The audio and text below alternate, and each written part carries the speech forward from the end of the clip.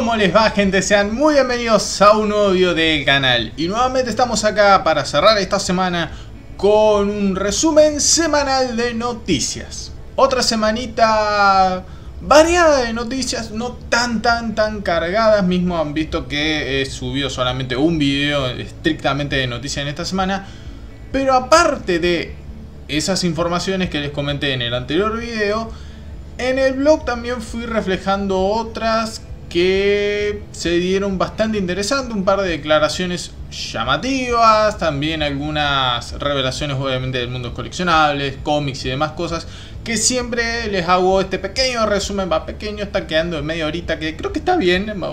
varias veces me han dicho que hagan videos de este estilo un poco más largos, así que bueno, acá los tienen, no se quejen. Y es así como esta semana tenemos también un variado interesante, porque obviamente como les decía tenemos, y como siempre arrancando los videos, lo que es el mundo de los coleccionables, tenemos también lo que es los cómics, las series live action, también tenemos algo de series animadas, el mundo del cine en cuanto a películas animadas y también lo que es películas live action. Así que va a ser un video larguito como eso que a ustedes les gustan, así que siéntense, disfruten, pero siempre no se olviden dejar su like, su comentario respecto a todas estas noticias y obviamente mil gracias a todos aquellos que se van sumando al canal semana tras semana y ya estamos arriba de los 1500 y esperemos llegar a un lindo numerito ya terminado este año. Así que bueno gente, no perdamos más tiempo y arranquemos con este resumen semanal de noticias ya.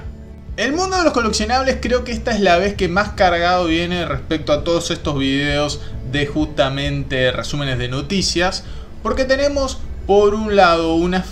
dos figuras y tres estatuas. En el caso de las dos figuras son referidas a la película Batman de 1989 con Michael Keaton, Jack Nicholson y dirigidos por Tim Burton. Con dos figuras que la verdad lucen geniales, lucen muy muy muy bien. Y luego las estatuas son bastante variadas porque tenemos por un lado a un Flash, Barry Allen con su traje súper clásico que luce muy bien la verdad. Luego también tenemos a Catwoman con un look de los cómics y justamente una escultura a cargo en sí de un artista de las viñetas. Y también tenemos una versión muy querida de estos últimos años con el Batman Nightmare de Zack Snyder's Justice League. La gente de Beast Kingdom ha dado a conocer sus figuras de Batman y el Joker basados en la película Batman de 1989 dirigida por Tim Burton para su línea DAH, Dynamic Action Heroes.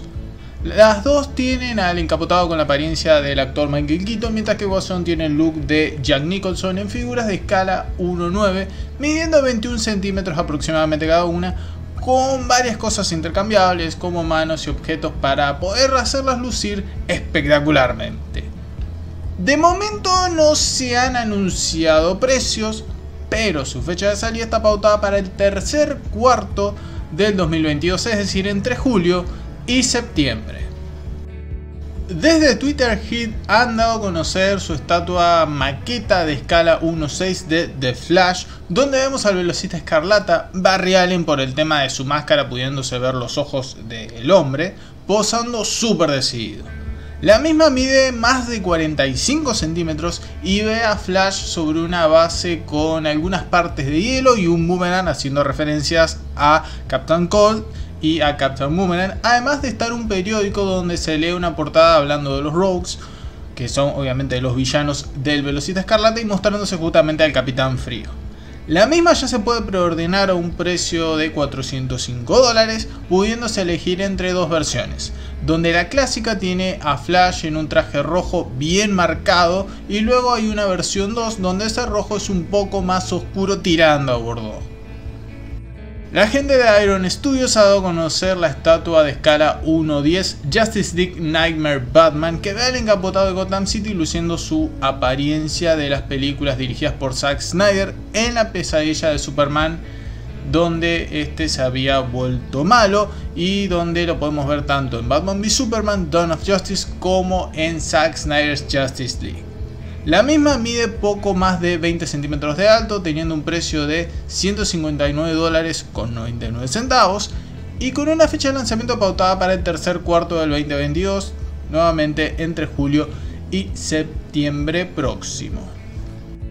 Prime One Studio ha dado a conocer su última incorporación al panteón de las estatuas de DC Comics para la Masterline Museum a escala 1.3 que tiene a Catwoman como protagonista basada en un arte de Lee Bermejo. Inspirada en la portada variante de Catwoman número 25 de Bermejo, Gatúbela se escabulle sigilosamente sobre los tejados de Gotham para tomar lo que es suyo y nadie la detendrá, dice su descripción oficial.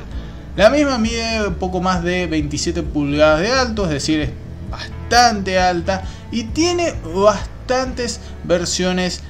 diferentes. Tiene tres cabezas intercambiables, tiene dos brazos izquierdos intercambiables, dos soportes para la cabeza, una base temática justamente con Gotham City, una cabeza eh, extra para justamente lo que es una edición deluxe, porque todas estas figuras siempre tienen una versión estándar y una deluxe. La deluxe viene con una cabeza diferente y también un soporte adicional para la cabeza donde se puede ver justamente a Catwoman sin su máscara, luciendo muy feliz por todo esto y además viene con una impresión de tamaño A4 firmada por el mismísimo Libermejo. Si quieren ver todas las imágenes de todas estas figuras,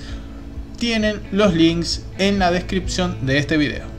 El mundo de los cómics estuvo algo tranqui este fin de año aparentemente porque solamente encontramos una cosita que es bastante llamativa y también para lo que será futuro, ya que se dio a conocer lo que es la portada para el número 4 de Justice League Incarnate con el final de un personaje. El próximo 2 de febrero del 2022 se publicará el número 4 de Justice League Incarnate, el anteúltimo número de esta colección,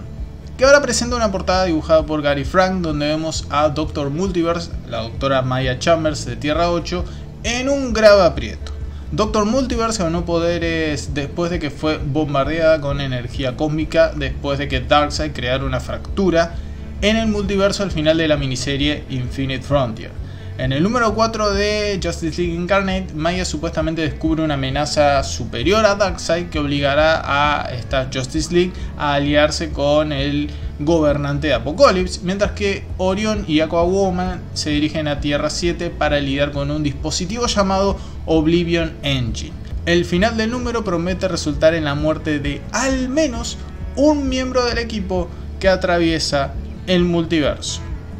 En el mundo de las series, como les decía, tenemos también lo que es las series animadas, porque el productor o uno de los productores y creadores de Justicia Joven, de Young Justice, comentó que ya la cuarta temporada del show está completamente lista, pero ¿es el final de la serie?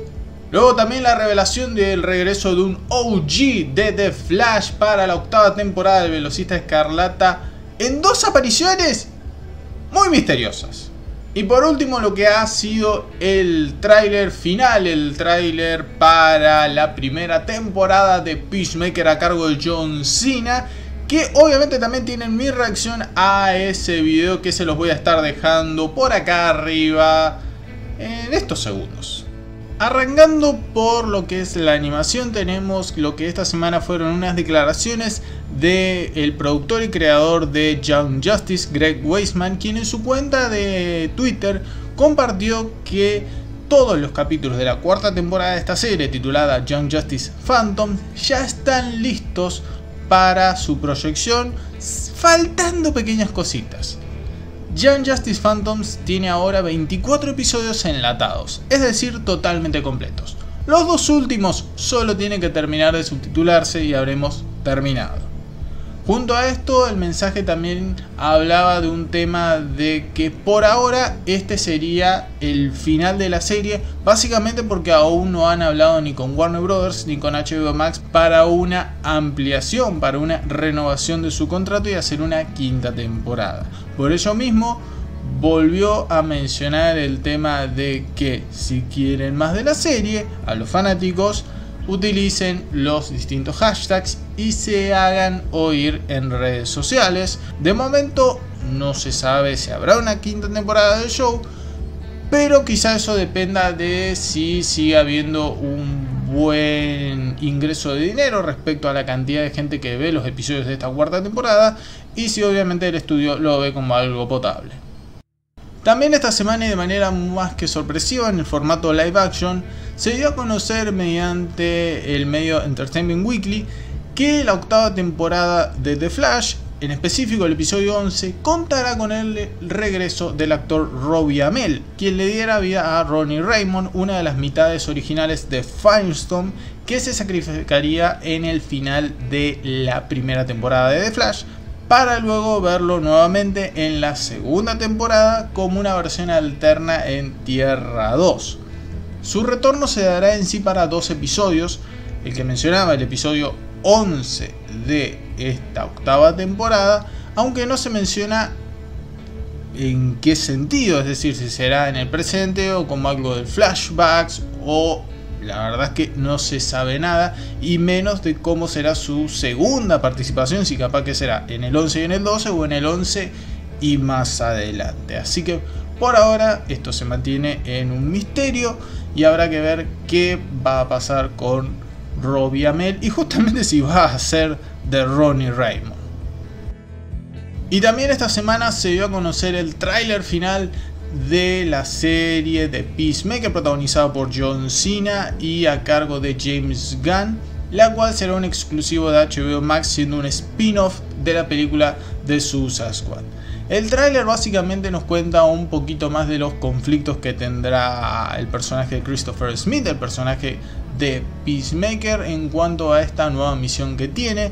donde deberá cometer algunos asesinatos, los cuales él no quiere hacer por temas de que justamente sus víctimas tienen familias y al mismo tiempo un tema de tratar de pasar la barrera de ser aceptado o no por su padre, mientras sus compañeros de equipo, entre ellos vigilante, tratan de enderezarlo y hacerlo de que justamente tome una decisión. El trailer en sí va mucho por el lado de mostrar el tema de la calificación R, algún que otro insulto, algún que otra parte de sangre y demás cosas típicas, calificación R, James Gunn, ya saben lo que es,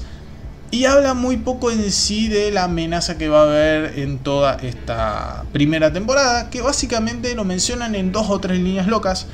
donde aparentemente las personas están empezando a ser infectadas por un grupo llamado que lo denomina el gobierno como las mariposas y que los está haciendo como medio volver locos. Si lo enganchamos con unas viejas declaraciones en otros eventos, podemos pensar de que serían una especie de minis starros según unas viejas declaraciones, así que vamos a ver cómo se termina de desarrollar esto. Y la serie, recuerden, se estrena en poco más de un mes, es decir, el 13 de enero del 2022.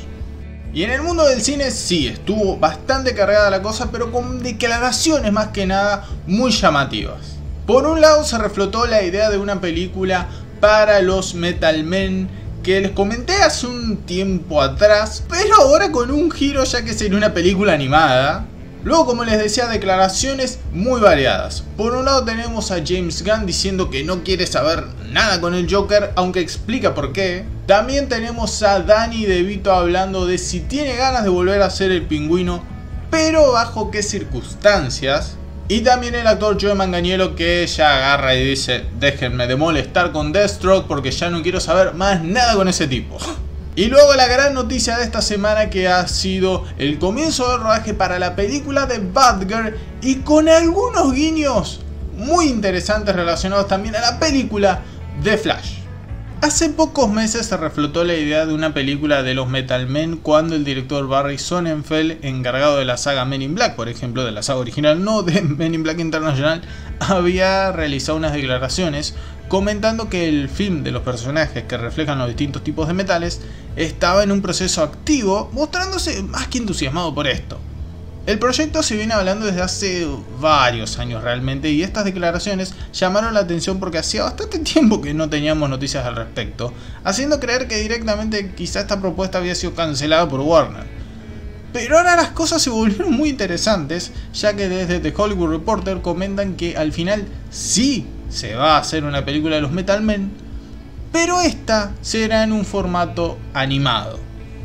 La idea es que esta película sea dirigida para el cine con el estilo medio como DC League of Super Pets que tiene a Dwayne Johnson como máximo encargado. Por esto mismo, Sonnenfeld habría sido descartado como director y desde Warner Bros. optaron por gente conocedora del ambiente animado como Rob Clements y John Musker, quienes son conocidos en el ambiente por haber sido los directores de Hércules, La Princesa y el Sapo, Moana y varios otros proyectos de Disney, mientras que también tendremos en el guion a Celeste Ballard, quien fue justamente la guionista de la última película de Space Jam, Space Jam 2 o Space Jam A New Legacy. De momento en esta nota de Hollywood Reporter no agregan nada más al respecto, respecto justamente a historia o siquiera una fecha tentativa de estreno, por lo que no sabemos si esperar este proyecto para fines del 2022, lo cual no creo además porque está muy cargada todo lo que es la grilla de estrenos en el cine de DC, o ya para 2023. Esta semana también se dieron unas declaraciones bastante interesantes respecto a James Gunn, quien fue consultado respecto a si tenía algún que otro interés sobre el personaje del Joker en el DCU, el cual fue interpretado por el actor Jared Leto tanto en Suicide Squad, dirigida por David Ayer, como luego también sería retomado ese personaje en Zack Snyder's Justice League. El, el, director directamente agarró y dijo que no utilizaría pero para nada el personaje del Joker, ya que no lo encontraba interesante, como así también cree que ya hay varias versiones del personaje que están bien, entonces no lo ve necesario. Cosa que no le ocurre por ejemplo con Harley Quinn. Hay todo tipo de personajes que me interesa hacer. El Joker no es uno de ellos. Ya lo ha hecho bien mucha gente. Me interesa mucho más hacer personajes que no han tenido su oportunidad o gente con la que conecto. Por alguna razón me siento conectado con Harley Quinn siento que es uno de los personajes más fáciles que he escrito. Así que estoy interesado en ella, estoy interesado en otros personajes de DC y ya veremos lo que pasa. Como ya se ha mencionado en más de una ocasión, James Gunn, además de ahora, como les mencionaba anteriormente hace unos minutos atrás, en este mismo video, el tema de Peacemaker, también tiene las ideas de seguir con todo lo que es de Suicide Squad y otros personajes que también estuvieron en esa serie, sino también otros personajes completamente nuevos siendo introducidos al DCU, por lo cual su estadía en todo lo que es Warner y DC pinta para largo. También unas declaraciones bastante interesantes que se dieron esta semana fueron las del actor Danny DeVito. Él le dio vida al personaje de Oswald Cobblepot, mejor conocido como el pingüino, en Batman de 1991, en la secuela en Batman Returns, con Michael Keaton, Michelle Pfeiffer, entre muchos otros, con una actuación que fue de las más destacadas de toda esa película, que en sí toda la película es destacadísima, y él obviamente no desafinó para nada, y mismo esta versión quedó como una ya clásica del personaje para futuras apariciones en formatos tanto en los cómics, en la animación y también en referido al live action se tomarían muchas de estas cosas. Por ejemplo en Gotham se utiliza mucho también a lo que es el personaje de Danny DeVito o lo que hizo, mejor dicho, Danny DeVito con el pingüino. Es así como su participación fue tan importante que siempre está rondando la idea de verlo regresar a dicho papel lo cual ahora comenta De Vito diciendo que lo podría pensar, pero con Burton detrás de todo. Siento que no es descartable que el pingüino regrese algún día, pero todo depende de Tim. Si Tim quiere hacerlo o no, yo diría que podría ser una posibilidad porque no estamos muertos todavía podríamos hacer una continuación de lo que hicimos en el pasado porque esa fue una película realmente brillante. Me dieron esa oportunidad y me siento muy agradecido y me gustaría volver a hacerla. ¿Por qué no? Fue un momento realmente genial para mí. Desde hace unos meses surgió un rumor donde se mencionaba que podríamos tener el retorno de Danny DeVito al papel para la película de Flash, ya que se había confirmado, y los, lo vimos en el tráiler, el regreso de Michael Keaton como Batman. Pero bueno, todo quedó en la nada, aunque hay que ver si hay algún que otro guiño en la película del velocista escarlata. Siguiendo con la temática de declaraciones, tuvimos a Joe Manganiello, quien le dio vida a Deathstroke en el DCU tanto en Justice League, la versión del cine lanzada en 2017 como en Zack Snyder Justice League con una participación completamente diferente y también tanteando cosas a futuro, principalmente relacionadas a un enfrentamiento entre él y el Batman de Ben Affleck.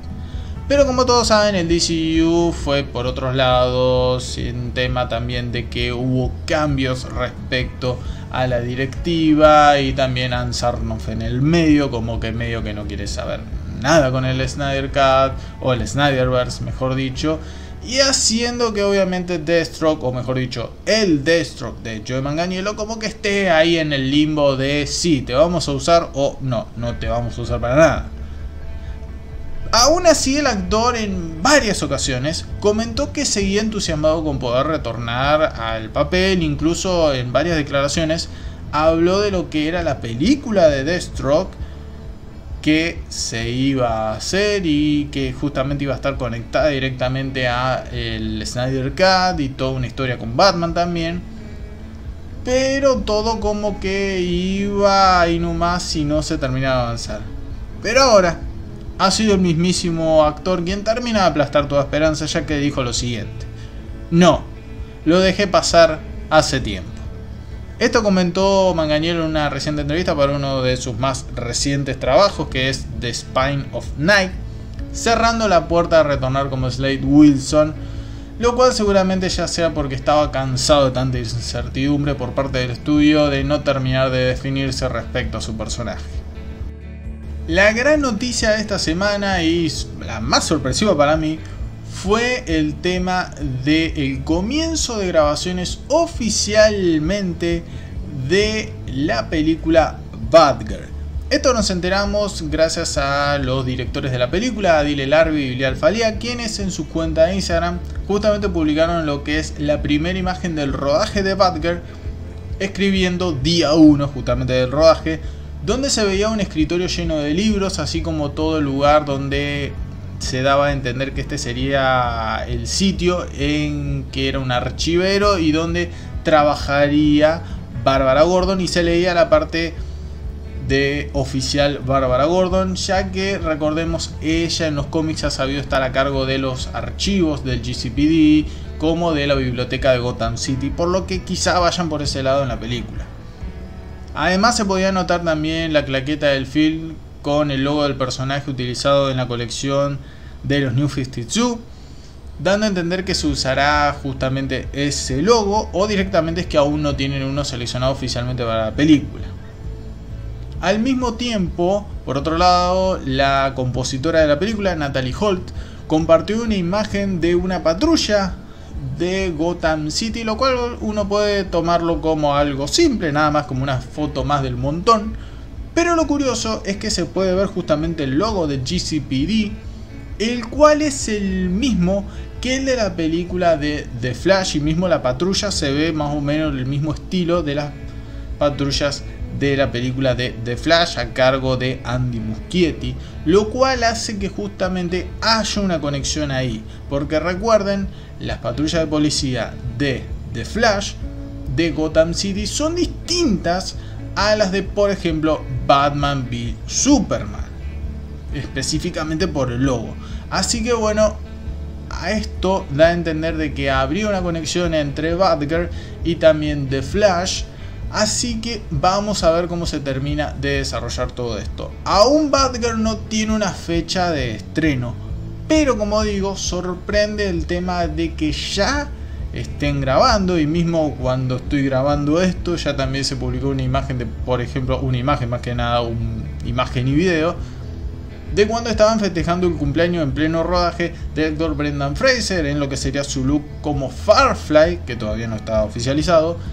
en el rodaje, por lo cual van avanzando rápido y recordemos que J.K. Simmons anticipó que en enero ya él iba a estar grabando sus escenas como Jim Gordon, por lo cual quizá para febrero, quizá fines de febrero, ya este rodaje esté terminado, capaz con unos 3 meses de rodaje la película esté perfecta. ¿Y quiénes le dicen que capaz que para fines del 2022 tengamos a esta película entre nosotros? Muchísimas gracias por ver el video hasta el final. Si te gustó déjame tu like y tu comentario sobre qué pensás de todas estas noticias. Si no estás suscrito al canal te invito a que lo hagas porque con eso me hace una gran mano para seguir subiendo este tipo de videos y muchos más. Así como también recomendarme qué tipo de videos te gustaría ver en este canal. Yo no digo nada más y nos vemos en un próximo video. Adiós gente.